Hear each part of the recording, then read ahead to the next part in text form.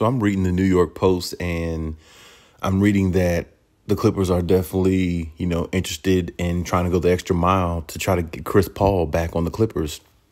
And, you know, his return will be, you know, great for some fans in the in Clipper Nation because a lot of fans really adored him, liked him a whole lot, and thought he really had what it takes to bring a championship to this team. But you know he wasn't able to and now the fact that he's older it really it really would worry me a lot more having him you know re-enter the locker room on the team and they're trying to win a championship and you have a player in Chris Paul who really is much older now and really can't carry a load the way he once could. Now, of course, Kawhi and PG is on the team still currently, unless any changes or or moves are made amongst those two players. But um, it really doesn't uh, look like the most ideal situation because the last few playoffs, Chris, Chris Paul has really either been injured or he's really showed his age.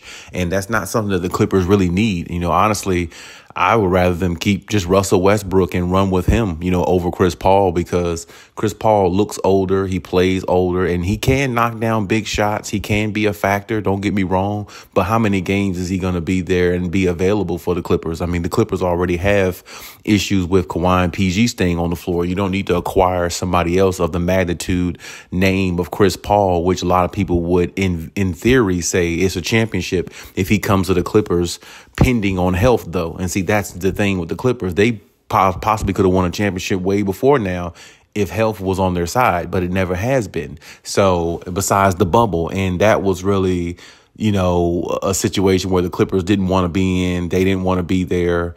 Uh, the reports came out tons of times, and um, even players on the Lakers said when they had the meeting, the Clippers didn't want to be in the bubble. So that was just a really odd situation for them and a lot of other teams as well. But either way, you know, it um, it's a situation to me where now it's like a three uh, team trade deal is is into is into play, and that's you know I was reading the New York Post, and that's what they were saying. You know, where the twist is because Bradley Beal is a free agent and ready to move on from Washington there's a scenario where the trade goes from Washington to, or Bradley Beal goes from Washington to the Phoenix Suns, and the Phoenix Suns part ways or parted ways with Chris Paul and allow the trade to go through where it sends him to the Clippers.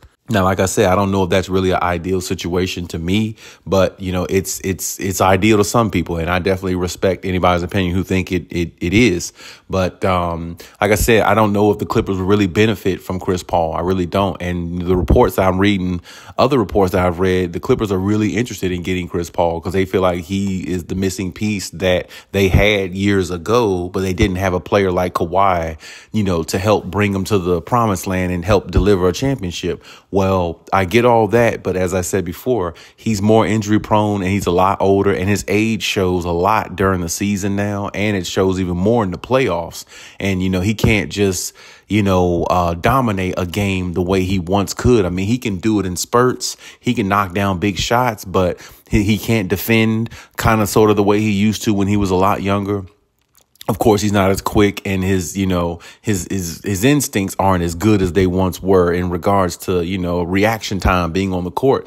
But at the same time he's still an effective point guard. He's still a top point guard top 10 point guard in the league i, I would say still i i, I assume because there really isn't that many you know great point guards in the league you know what i'm saying? So uh, at least at least i could barely think of 10 of them but regardless you know, he, he's still a formidable name and all those things, but I just don't know what he has left in the tank to help the Clippers win a championship when he's injury prone and he's older.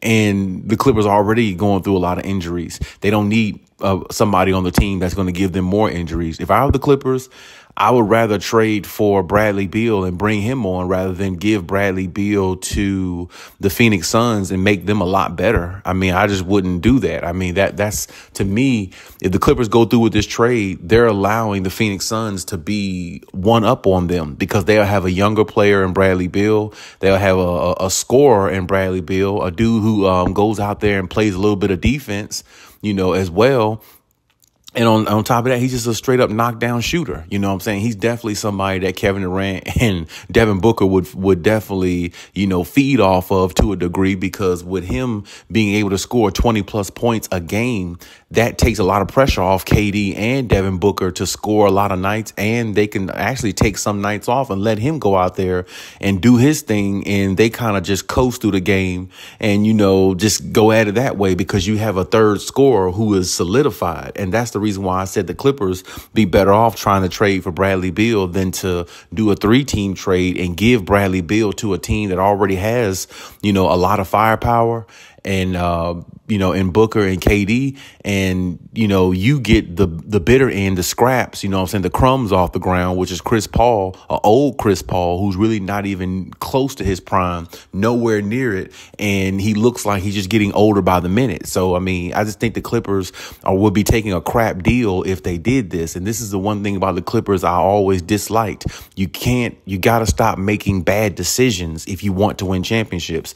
Teams don't win championships just because because they got star players. Teams win championships because the other guys around the star players coincide with them. They fit with the star players and they complement the star players on your team. So my point is, yeah, if the Clippers go out and get Chris Paul, it will be a big name. It'll make headlines. It'll do all those things. But headlines and being a big name in the media and something to talk about in the offseason isn't worth a damn if it's not going to equate to a championship. And I know a lot of people may disagree with what I'm saying, but in reality, in hindsight, that's the way it is because, I mean, he got hurt with the Phoenix Suns in this this uh, playoffs, didn't he? So I mean, there you go. I mean, they could have used his services you know, going forward, they might have actually possibly gave Denver more of a run if they had Chris Paul. But that's the thing. Chris Paul always get hurt when you don't need him to, which is the playoffs here the last couple seasons, or he showed his age. And that's just not a recipe for success. So, I mean, either way, like I said, you know, hey, leave your comments in the comment section. You let me know what you think about it. And as always, we'll talk about it.